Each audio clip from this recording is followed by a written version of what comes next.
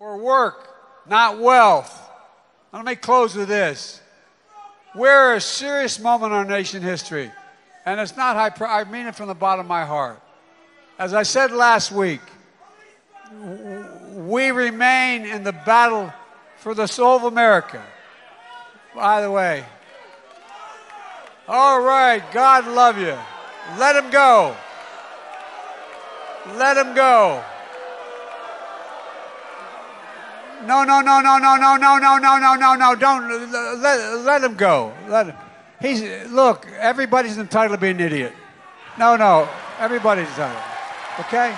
Look.